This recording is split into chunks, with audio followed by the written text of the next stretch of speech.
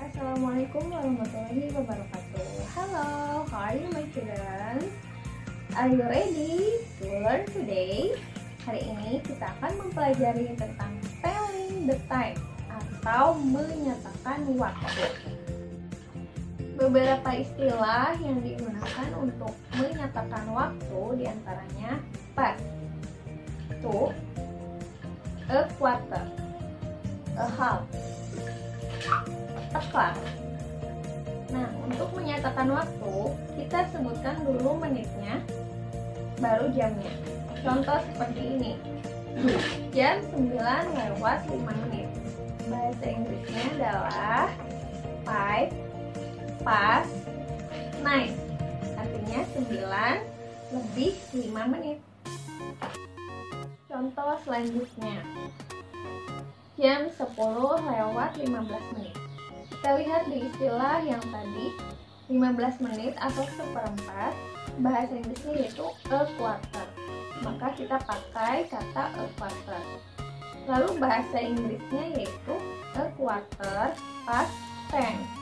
Jadi disebutkan dulu menitnya baru kemudian sebutkan jamnya.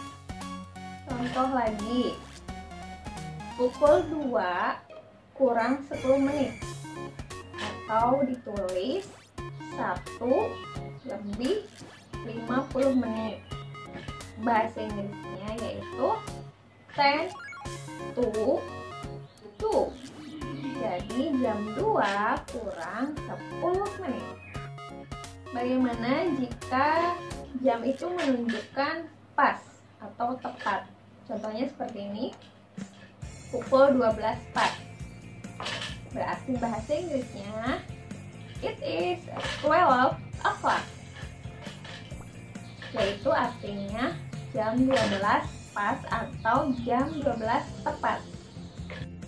Nah ada lagi jam 10.30 Atau bisa kita sebut setengah 11 Maka kita sebut dulu menitnya Yaitu a half past 10 Yang berarti 10 lebih 30 menit atau lewat setengah jam. Baik anak-anak, untuk hari ini materinya cukup sekian. Selamat menyimak materi yang sudah diberikan. Tetap semangat belajar dan jaga kesehatan. Terima kasih telah mengikuti pelajaran hari ini. Sampai bertemu di pertemuan selanjutnya. Assalamualaikum warahmatullahi wabarakatuh.